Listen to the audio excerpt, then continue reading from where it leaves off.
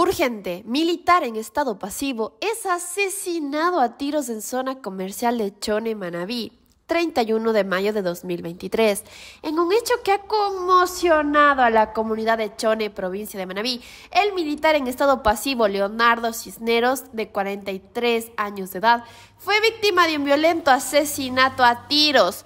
El suceso tuvo lugar aproximadamente a las 16 horas del miércoles 31 de mayo en el sector agua potable, una zona urbana y comercial de la localidad. Según los testimonios recabados, Cisneros se encontraba caminando por la calle frente a un reconocido local comercial cuando fue sorprendido por un individuo que descendió de una motocicleta. Sin mediar palabra, el agresor disparó en repetidas ocasiones contra el exmilitar, causándole heridas mortales.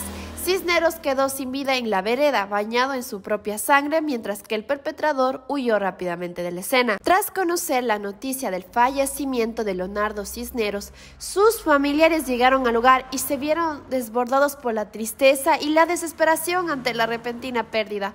La Policía Nacional y los agentes de criminalística se presentaron en el sitio para llevar a cabo las investigaciones correspondientes. Durante el procesamiento del área, se recolectaron diversos indicios relacionados con el uso de un arma de fuego calibre 9 milímetros, que serán analizados para esclarecer los detalles del crimen.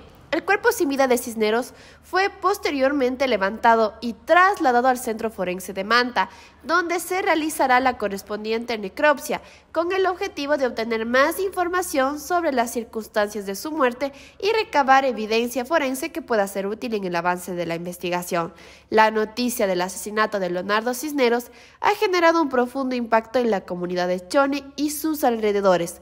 La violencia y la pérdida de vidas humanas continúan siendo una preocupación constante en la sociedad y casos como este resaltan la necesidad de fortalecer las estrategias de seguridad y promover una cultura de paz en el país. Gracias por ver nuestra noticia, agradecemos tu apoyo, no olvides suscribirte para recibir más actualizaciones y darle like si te ha gustado, tu apoyo es fundamental para nosotros.